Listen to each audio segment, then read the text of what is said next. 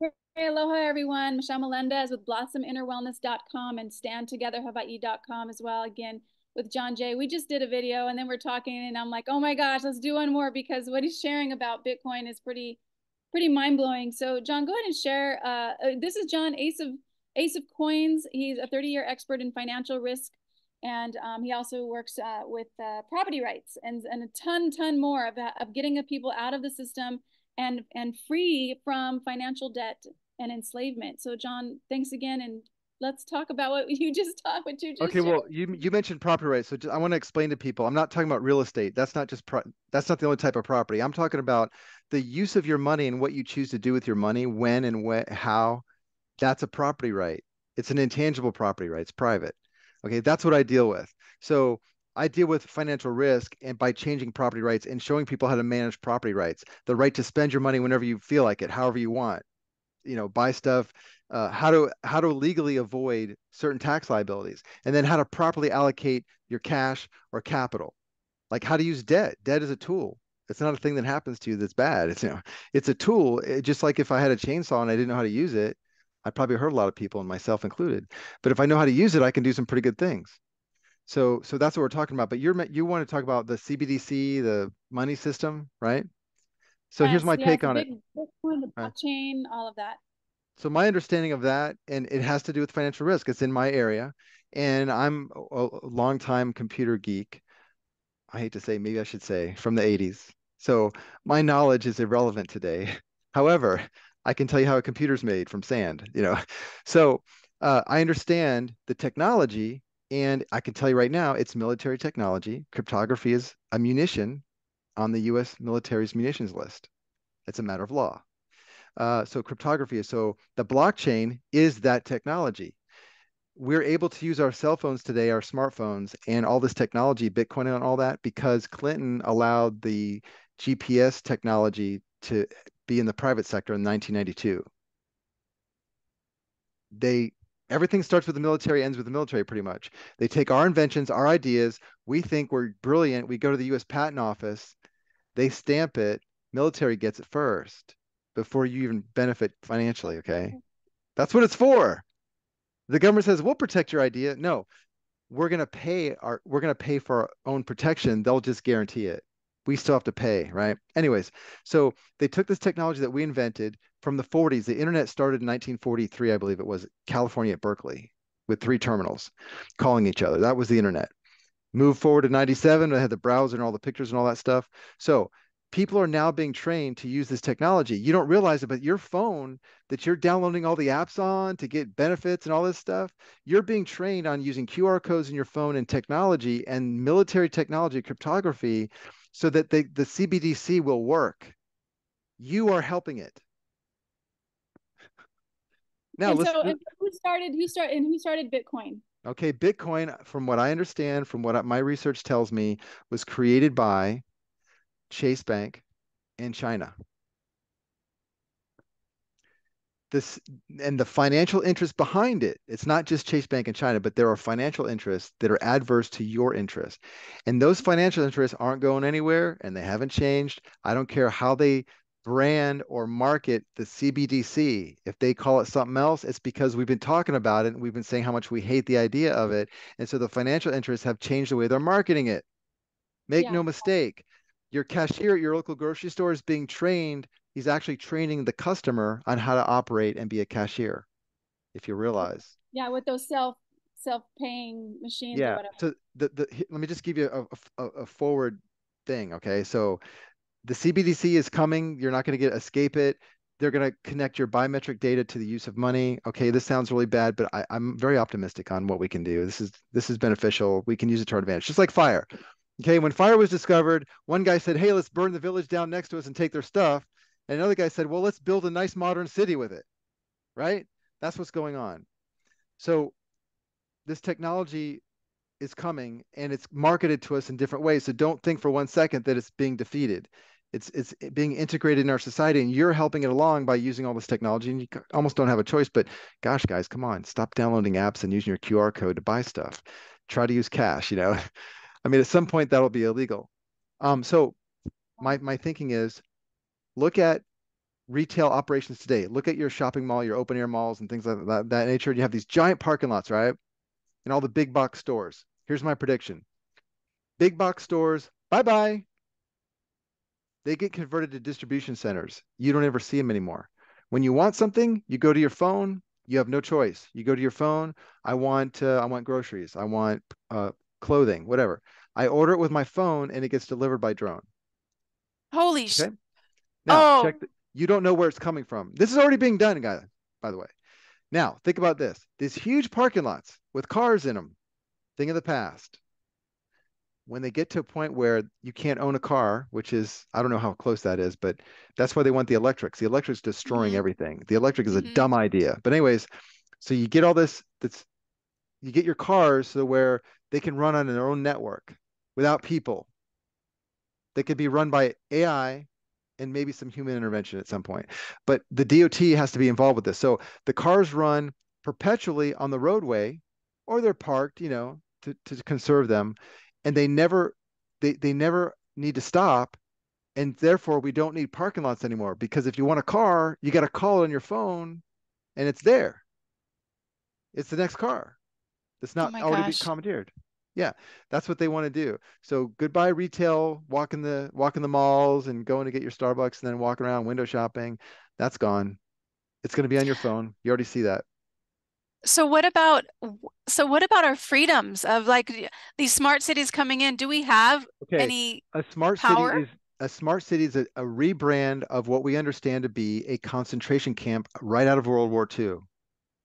Yes. When you, when you hear smart city, you understand it's a concentration camp. It's for the stupid people. Anybody who wants to live in a smart city, you're stupid and you deserve what you get. Smart as a surveillance monitoring. I can't yeah. remember what A stands you'll for. Have, reporting technology. Have no, you'll have no property rights. And so what what is wanting to be happening? I, I'm speaking passively because I, I'm I'm just going to say the financial interests that want to push this. Okay, they want to make it to where people the people they let live those people yeah. will can, can only get resources through technology. If you don't use technology you're not getting it. It's already happening. I'm, i would try to get something at walmart this summer and they wouldn't sell it to me unless i use order it from my phone. It wasn't on the shelf. It was th- from some other location. They didn't they, they didn't put it on the shelf. They're already doing this. They're taking products right. off the shelf and you have to you can only you already know this guys. You can only get it on amazon or your phone or something. So anyways i think that's what's going on and that's why they want the cbdc but they want they want this blockchain technology so that you can be required to use biometric data to access money and resources. Now in the other be... call you, you said that you could um, protect your biometric uh, data. Okay so what i was mentioning is right now and i believe in the future we can do this we can do this for a long time forever probably. You have to realize the data being collected is property and this property creates a liability for the collector. So, like Google that collects your data uh, has a liability to you in what's known as a data breach. We've heard this in the news before, right? Data breach. Mm-hmm. You have to announce it and all this stuff.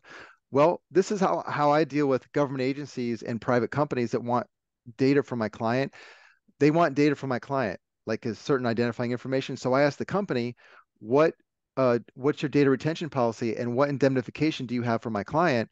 Because you are asking for information that's not needed to provide the service or product that you want from that he wants. And so if you want this information and there's no there's no really good reason, even if there is a good reason, I want to know what accountability you have to my client. And if you don't have it and you can't get insurance for it, I'm not required to give it to you. It's not fair. So I'm using this right now to get privacy for my client. Privacy is a property right. So what yeah. I'm doing is I describe the property. So for example, my fingerprints, this biometric data, it's property. I'm the only one that has these fingerprints, right? Mine. Yep. Okay, so they're unique to me. If they're unique to me, it's a property right and it's an intangible property right. Ironically, it's on my fingers, but it's intangible. Okay, so I can describe it. I can describe my retinal pattern by saying it's my retinal pattern that identifies me. There's nobody else in ever that can identify, right? My mm-hmm. face, mm-hmm is just like on my uh, driver's license record, right? My face is biometric data. They've been using it for for years. We just mm-hmm. accept it, right? Okay. So when we can describe property, we can we can then do things with it. We can sell it. We can we can make a claim on it. So what I'm showing people how to do is you take the biometric data that you almost can't get by in this world without giving up. Yeah. Yeah. So I'm I'm saying, fine, Google, take it, but you're going to pay me for it. And so I, I I describe it in a security agreement. A security agreement is a mortgage, guys. The oh mortgages gosh, this is brilliant. Been, the mortgages have been used against us forever. Let's use them now against the system that's getting our data. So we put a lien on all this data. It's private property that up until now has been abandoned. So when you put the lien on the data, it, you've claiming the property now. It's yours. Claim it. How and long does it take to, to set that up? A day. Once I once I write up the agreement, guess what? The use of your data constitutes an agreement. You don't need anybody to sign anything. You just write up the agreement and record it in your county and the state, and then you impose a royalty on the use of your data, just like someone who's a songwriter has copyrights on the song. You're doing the same thing as intellectual property, okay? If you want to look it up, it's intellectual properties. This is the equivalent of that. All right. So we put this on there. Now, here's what I'm telling people everybody's putting all these liens on on their data right right now my clients are and they're doing it and it's just for pennies. It's small amounts of money. But this what i'm wanting to do is create a huge liability on the accounting records of the of google for example. Google's a publicly traded company right? It has to know and account for all liabilities. How do you think it's going to account for a liability that it can't calculate? It doesn't know who's going to file what liens when, and how does it answer to its shareholders and its insurance carriers? This is an infinite unknown liability. What do you think is going to happen when all this when it, this makes its way into the quarterly statements that it has to file with the SEC? What? This is exciting. Yeah. you guys, this is we really great. Stuff, and we've been giving it away for free. It's just like the crazy example where I buy a bunch of products right at the grocery store and part of what I'm paying for is the packaging. I want the packaging. I'm not going to carry water around like this, right? Yeah. All right, makes sense. So I got plastic bottles, I got glass bottles. What do I do? I put them in a bin and I pay somebody again to take them away. Why would someone do that? Because he's going to make money off of them. Mm-hmm. Why can't I make money off of them? Because I haven't figured it out yet. by the way, I know how to do that. But I'm just saying, we're already doing crazy stuff like that. We're giving. So are you getting paid stuff. for this? I can show you how to have a make a, a huge amount of money with this stuff. Yeah, oh, yeah, yeah, yeah, yeah. Oh, Do you yeah, have yeah. a course for people to learn this? I, I, didn't put a course for that, but I can get a business plan for you. I can show you how to do it. I can show All you right. how to make money with glass and plastic and stuff very easily. It's a huge multi-trillion dollar enterprise. I mean, my gosh. moving I, trash around the world. no, amazing. I mean about your um uh the, your uh, your um the liens? Yes. yeah. Okay. So the biometric data, the lien on the biometric data. Yes, I have a course on that. It's not published yet, but I okay. also right now I do one-on-one. So I work at all the kinks, which we've pretty much done this year. It's done, and so now everybody's following these liens, and so they they're like when they finally learn about it, they're like, how do I do it? And so I charge X dollars. I create the documents, and so in about a month, you're going to have access to all this information through a video series. You just watch the video series, you download the document, you fill it out, and now you know how to do it and you can keep on doing it. You can show other people how to do it. And, and so, yeah. are you getting uh, people are getting really paid for from Google and stuff? They can if they our... want. They can if they want. But what? Here's my here's my long term plan. Enough people do it, and then enough people are going to say, "Now what, John?" More or less. And they can go and collect the money if they want. It could be in the thousands of dollars. It could be more than that, actually. What I'm thinking is because these liens are assignable, I'm thinking we should have groups of people collecting all these liens and assigning them to a corporation that we can then use for financing because it'll have a huge stock value because of all the ah. receivables. It, it's like it's like having a company that goes around to all the all the people that own the copyrights and all the music we listen to or that own all the music rights to all the music we like. You go around and you acquire all those rights. What kind of value you're going to have in that company at some point? Huge value right mm-hmm. Well, that's what I'm thinking. I'm thinking we have so much leverage, so much money from just claiming our data back, and it's all secured. It's oh money. Gosh. This yeah, imagine so what kind of power we could have. yeah, t- this is my, my, thing is about freedom. My thing is about yeah. our God, our God-given rights that are being trampled on right and left, and this and this is amazing. So So I'm in on this. So um, this is uh, you said it's going to be available in about a month, and so people Yeah. can go to your website, of Coin. Is it on Ace of Coins or the other one? aceofcoins.com will link you to all these video courses. There's the divorcing the state, you know, there's um that tells you how to stop the trafficking in court, that tells you how to stop getting your butt kicked if you're in a divorce. You know, some of you guys are being really exploited by the courts. If you've already been through that mess, the course to- shows you how to reverse what they did, reverse alimony, reverse child support, do something with the family. Don't let the court tell you what to do. This is not fair. So there's a course on that. Um, and then we have a team too. We have a team of people that actually will do the casework if you need something like right away. You know, you don't have to learn it first. Uh, then there's the course on, you know, security agreement on your biometric data. You're putting a lien on the collection of all of your data, your biographical data, your We're SSN, your date this. of birth, your name, yeah, your retinal pattern, your face, your image, everything, the way you walk, all these things, your DNA, all these things are property, and we're identifying as property rights, and we're putting a lien on it, and there's a royalty on there. And sure, you can get your pennies or whatever, or save up whatever you can do. My thinking is put them all together and have this huge financial conglomerate that we can have power with. We can do lots of things with it. We can clean up a lot of things. Like technology. Why should the technology be used to exploit us? Why shouldn't it be used to enhance our, our lives and give us privacy? It should be, but It it's being be. used for the opposite. Yeah. So if we have money behind what we want to do, we can have some get some things done. We can be effective. So, anyways, there's that. And then I'm going to show people on there's another course that shows you how to use easements and HOA covenants to get out of the property tax, to control the title and the possession of your property, even in a foreclosure, uh, to deal with like fight BlackRock. You guys want to fight BlackRock? Use the easements and HOA covenants. Use it the right way. Wow. You want you you're paying too much property taxes. Well, why don't you just decide how much taxes you should be paying if you want to, and allocate that money to the sheriff's office or to your emergency services. You do that. You don't need your county board of supervisors to decide what's done with your money. You And- control the lien rights. Do the property taxes really go for the roads and stuff? Because uh, No, what they do is the, the taxes are paid and then the budget's created for the next year and then they borrow the money. So it's kind of it's indirectly being used. So what what I'm saying is you take the, the hard money and allocate it that way. You're not using a financing system. mhm. So it's a little more complicated, but I mean that that's a little more advanced. But I'm just saying the easements and the HOA covenants are very powerful and effective tools to control your property and property rights and defeat the banking system, mortgages, property tax, IRS liens, w- city code violations. I mean anything you want. oh my And I just- I just I hope people are going to be responsible with this because it's a lot of power. But it's going to make us effective because you have to realize we are the government. And so Yes. whoop do, what good is it for me to say that if you don't know what to do? Yeah.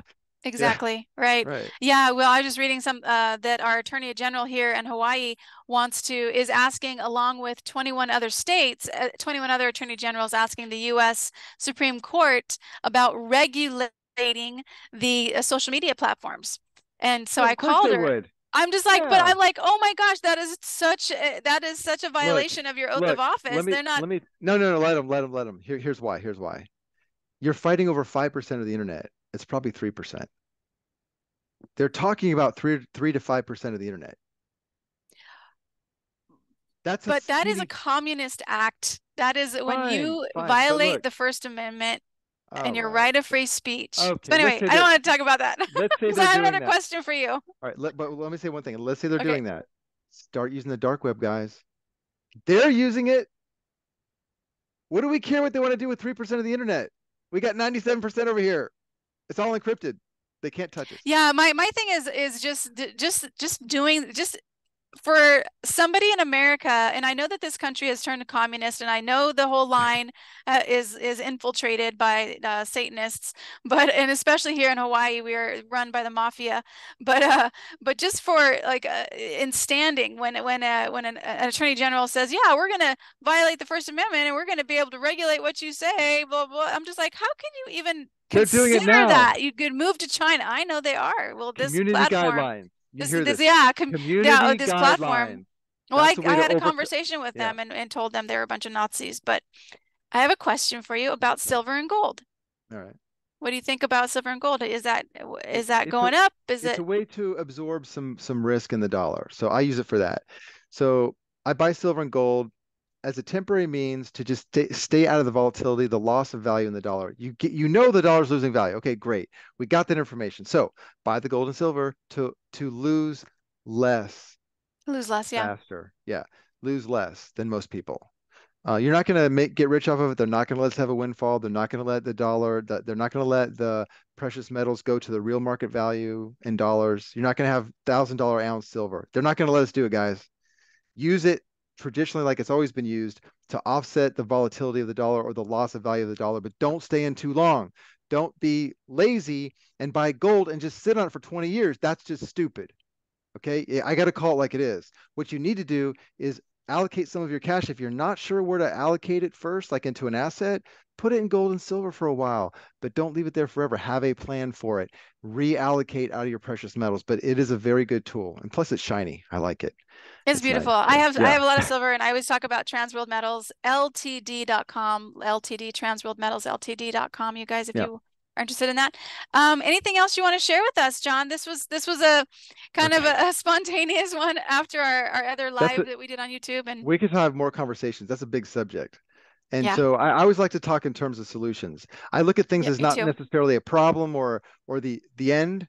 Like mm-hmm. if I identify a problem, I don't just stop talking there. I'm thinking, well, there's got to be a way to get around that or something. I'm all yeah. about actions. It's like, okay, what do we do to and right. i love this idea of owning our own um, identity owning our own face sure. and our that's our biometrics i mean that's huge because they're using it, it, You and it's so frustrating it you can license when, it out to others wow because when i when, yeah. when i go to home depot or something and i'm looking at myself in this in the computer on the screen i'm like oh i just get i'm just i feel yeah. so like violated like yeah well let's put a claim on that property and see how they like it yeah, let's do it. Okay, it costs you this much. so you, this is going to be available next month.